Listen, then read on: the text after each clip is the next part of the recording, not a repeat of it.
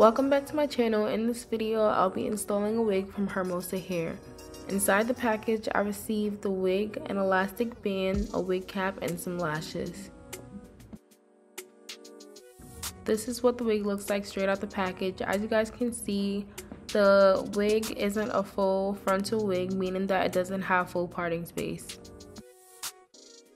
In this video, I'll be showing you guys how I plucked and customized the wig, also prepping it for install. And I'll be showing you guys some steps of how I install the wig. For the customizing part of the wig, you'll need a spray bottle with water in it, a tail comb, and a tweezer. The first thing that I did was wet the hairline with water so that it'll be easier for me to see exactly what I'm plucking. Because this wig isn't a full frontal and my client requested a side part, I'll be getting as close to the tracks as possible so that the part looks deep and is not as close to the middle. Even though the wig came colored already, I still bleached the knots for a little bit because there were still some black dots that were visible, even though I didn't get all of them removed. This is how the part will look on my client's head. Now I'm going to separate all the baby hairs that I'll be using on the other side. On each wig, the hairline mimics the natural hairline. So for the middle part of the wig, it comes out and then on each side of it, it goes back a little bit. That's exactly how I mark where I want to place the baby hairs.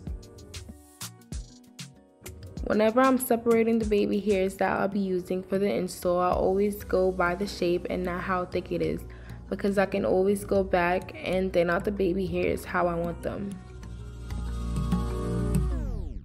Now for the sideburns, by the end of the hairline there's always another little part that comes out.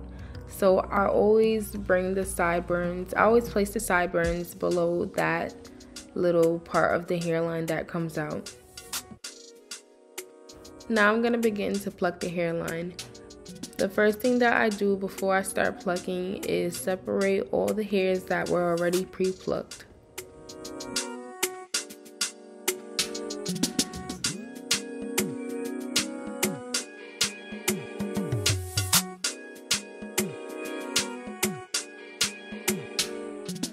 Once you've separated all the hairs, you can then start plucking behind the hairline. Whenever I'm plucking the hairline, I never stay in one area for too long because I don't want to leave a bald spot.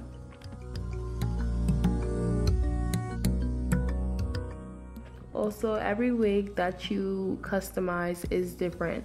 Some wigs knots may come out easier than the other.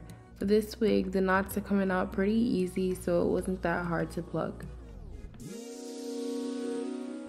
As you guys can see, I went back to the beginning of where I started plucking because I felt like I didn't take out enough hair.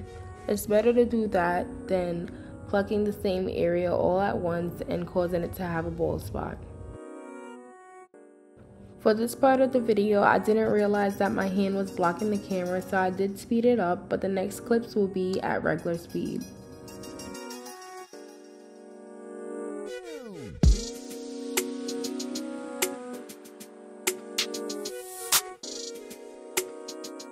Once you're finished plucking the hairline of the section that you were plucking, you can then remove those hairs and separate it with the rest.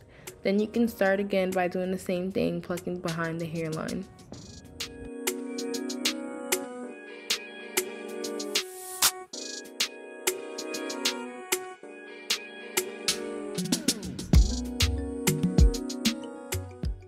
One of my tips when I'm plucking the hairline is that I always use my comb and comb the hair back. I also use my finger to hold the hairline down. This gives me a better view of seeing exactly what I'm plucking out. It also helps me pull the hairs much easier.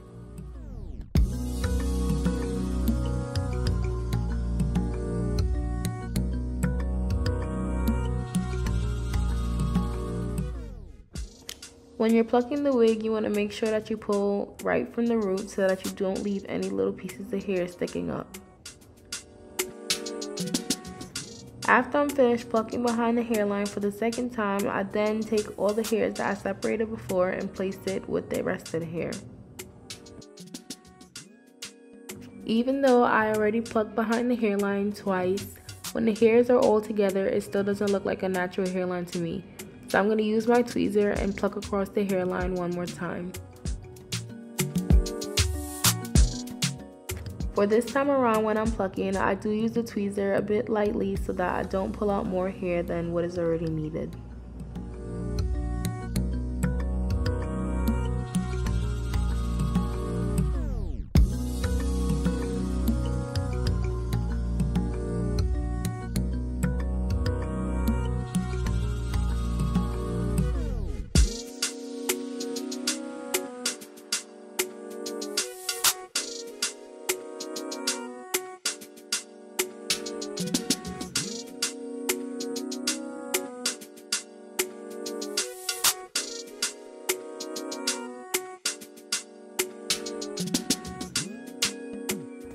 So for the next part of the wig that I'll be plucking is the left side.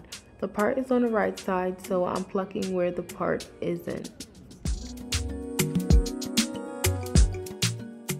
For this side of the wig, I'm basically doing the same thing. I already removed all the hairs that were already pre-plucked and now I'm about to pluck behind the hairline. Only difference is that instead of plucking behind the hairline twice, I'll only be doing it once.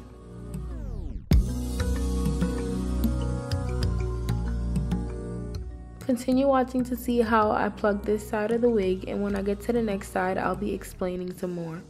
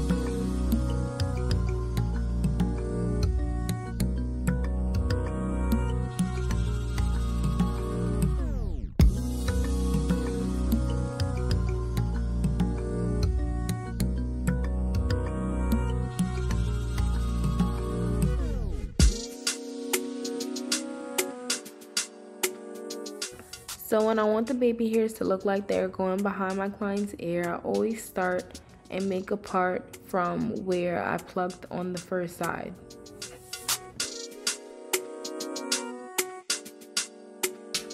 Whenever I'm doing a side part, I always leave the side that's showing for last because of the amount of plucking. It's way less plucking, so it'll be way easier for me to do. So when you're separating the baby hairs, it's basically the same thing as the other side. On the lower half of the hairline, it does come out. So under that part of the hairline that comes out, that's where I'll be pulling my sideburn baby hairs from.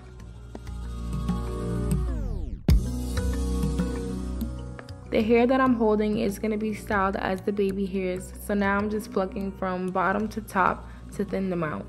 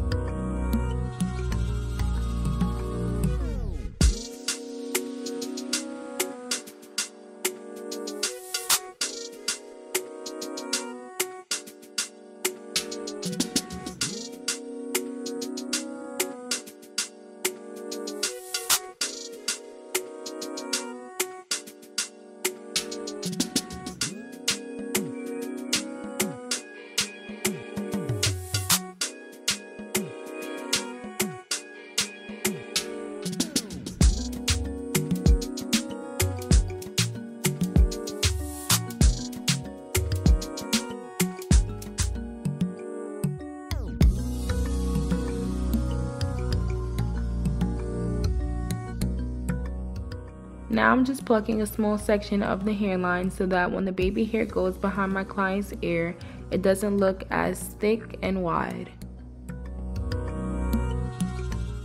Always remember to separate the pre-plucked hairs before you start plucking behind the hairline.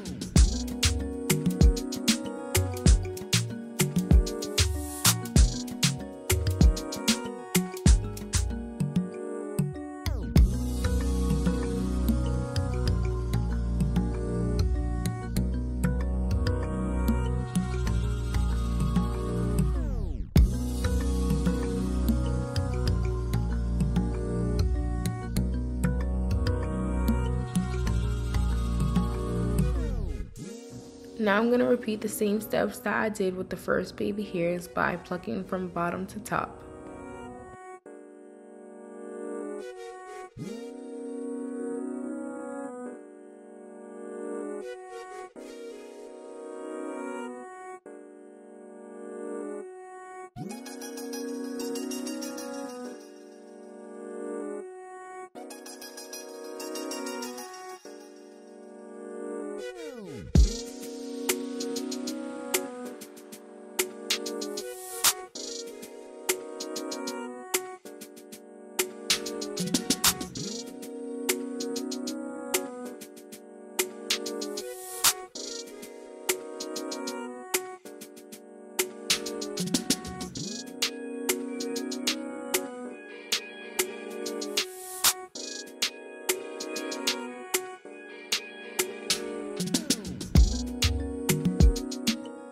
These are the results of the plucking. So now I'm going to blow dry the hair and prep it for install.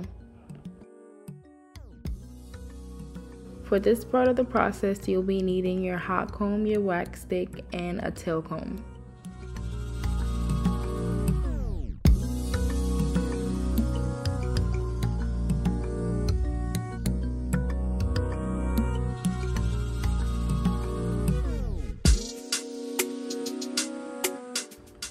Before you hot comb any pieces of hair, you want to make sure that you use your wax stick and place it on the root of it so that when you hot comb it, it'll be super flat.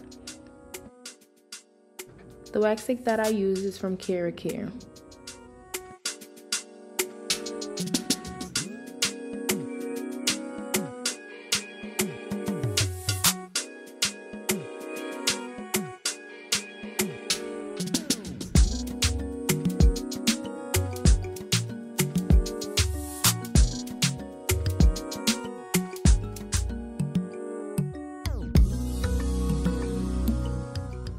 Hot combing the hair, you want to make sure that you're using the flat part of the hot comb and not just only the teeth.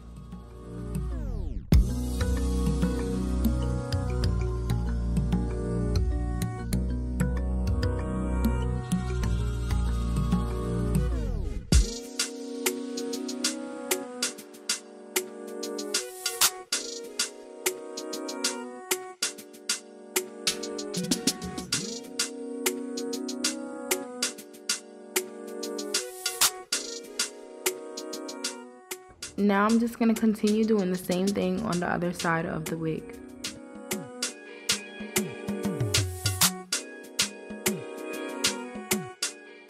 All my clients' head shapes and hairline sizes are different, so the measurements that I predicted may not be right all the time. If it ends up not being the same measurements, I always just move around the sideburn baby hair. I'll just separate the hair from the sideburn baby hair to bring the position of the baby hair lower if my client ends up having a longer hairline than what I predicted. And if the hairline is shorter, I just bring more hair down from what I already hot combed and then I'll end up cutting what's not needed from the original baby hairs that I made. Hopefully when this happens, I'm recording so that you guys can get a visual to see exactly how I fix this.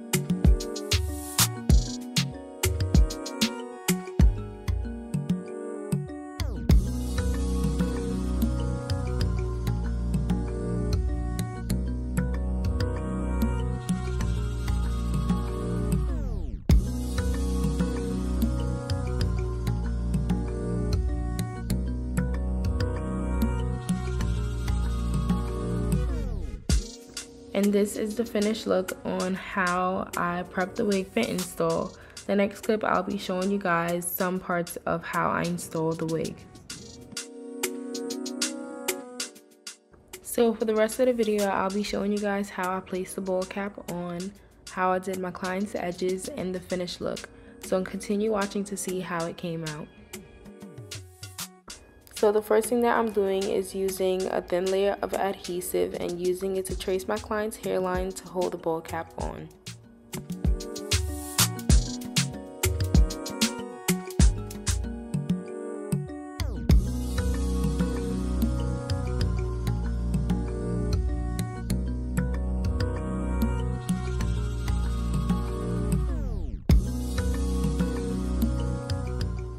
When you're using the glue to trace your client's hairline, you want to make sure that you avoid placing glue on their edges.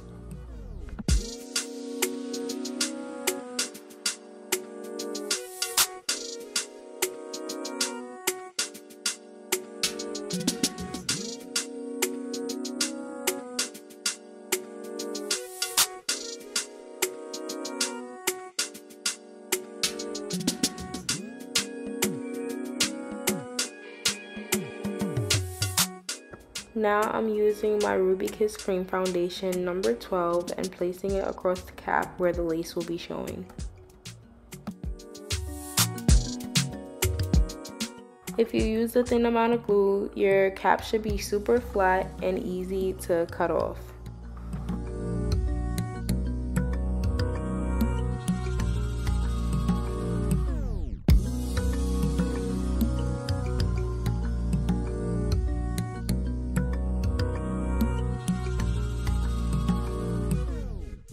Now this is what the wig looks like on my client head.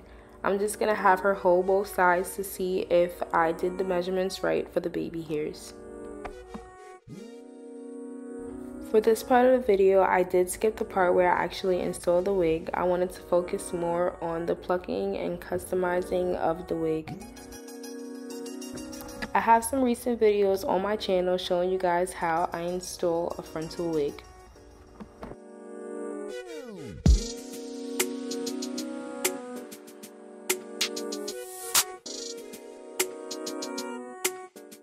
When you're cutting this baby hair, you want to make sure that you make the ends long so that it can blend in with the hair that's going behind your client's ear. I also cut the ends of the sideburn baby hair super long so that I have enough hair to make the swirl.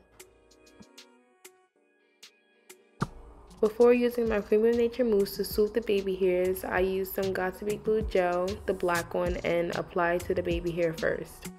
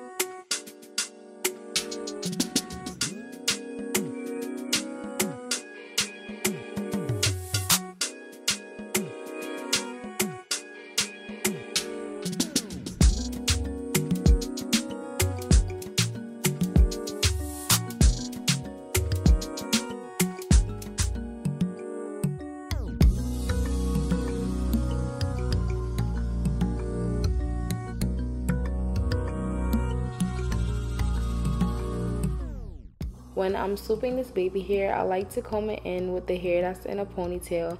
This makes it easier to form the baby hair shape.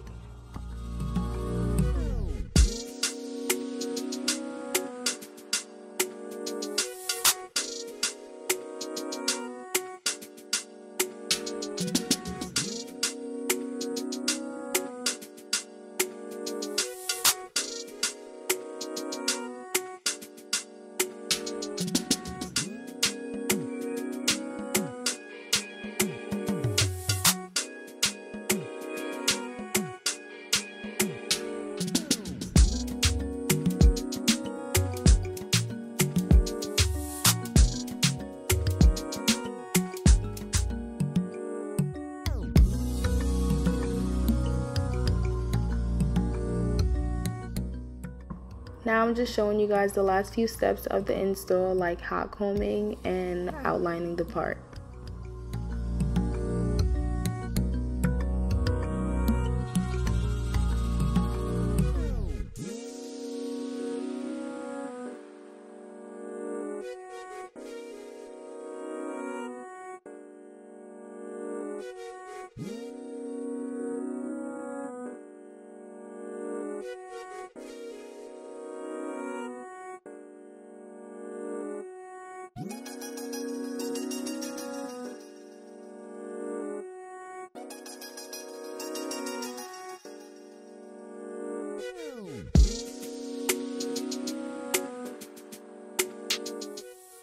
So this is the finished look. I hope you guys enjoyed watching this video. Remember to like, comment, and subscribe and let me know what you guys would like to see next in the comments. And continue watching for more clips of the finished look.